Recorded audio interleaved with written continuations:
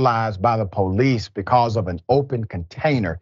Well, there's a lawsuit now, as predicted. Let me remind you of what happened. Here it is.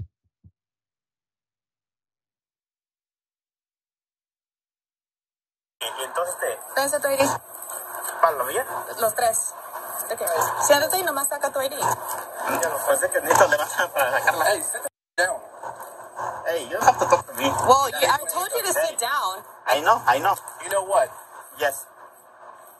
Yes. Take out your ID, I dude. know, I know, I know. I have to take it out, but I have to take it out to, to take the idea out, you know? Sit down. Just I sit know, down. but you, you Sit have to down. understand. Okay. Hey, hey, hey. Stop.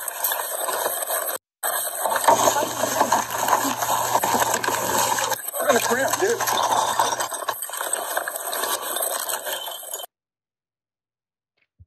Wow. All right. Put up his picture.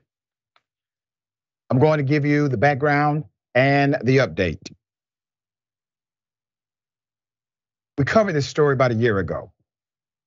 Um, Marin County Gardener Julio Lopez is now filing a federal rights lawsuit after police assaulted him over an open beer. San Rafael officers brutalized the migrant gardener over a damn beer bottle. There's additional footage that shows Mr. Lopez being restrained and bleeding out on the asphalt. Here it is.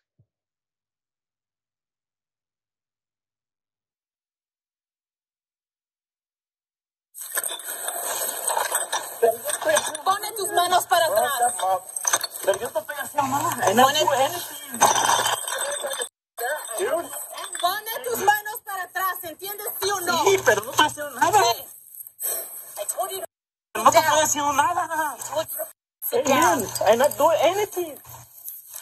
I'm not doing anything, man. Sir, I'm not doing anything. I told you to sit down, you don't sit down. Get out of the way. Stop moving your hand. Just leave it on the I'm back. not doing anything.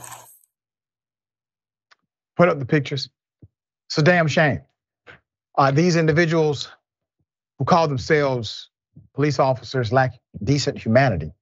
Now, former officers Brandon Nail and Daisy Mazariegos were charged with assault by an officer under color of law or authority and making false statements on a crime or criminal report in June.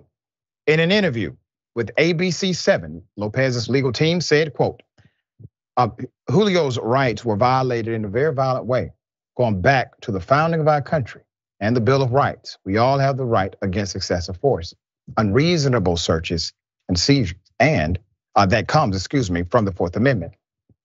At the time of the initial incident, this was your police chief for that jurisdiction. Okay, David Spiller. David Spiller released an open letter to the community about the altercation where he actually took full responsibility and that the department would be conducting an investigation into it. The quote is this I am both personally and professionally concerned about this incident and how it impacts the trust our department has worked hard to build in this community. I want to ensure all members of the San Rafael community that not only is this incident being critically examined, but we will examine our behaviors, including that of our leadership. And for those department members that have fallen short, they will be held accountable. A department spokesperson said the department would not comment on the pending litigation via email. City Attorney Robert Epstein has also failed to make any public statement about the suit.